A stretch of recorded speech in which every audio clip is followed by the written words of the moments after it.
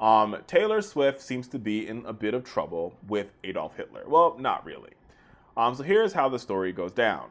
So um, on Pinterest, there's been um, Emily Pattinson has been sort of playing this social experiment in which she would take Taylor Swift, take Hitler quotes and attribute them to Taylor Swift and put them in nice, really nice writing, right? And you know, put them on Pinterest, and you know, people just started because it was Taylor Swift. It became this internet sensation, and people attribute those comments to Taylor Swift. Um, but after some time, people caught on to what Emily was social experiment was trying to do, and then they did the opposite. Emily did the opposite. They would take Taylor Swift comments and post them on Adolf Hitler pictures and attribute them to him. Either way, she seemed to get herself in a little bit of internet trouble in this particular story because, you know, people were, she duped the internet.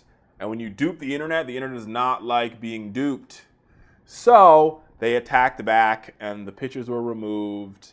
Um, but they continued to run these various pictures of Adolf Hitler with Taylor Swift quotes and Taylor Swift pictures with Adolf Hitler quotes. It tells you how quick the devil can play a trick on you. The devil played a trick on a lot of folks on the internet with this particular story. You know, and it tells you how fast something can go viral or become an internet sensation with nobody checking the source. You got to check your sources first, people. America, check this story tells you trust but verify.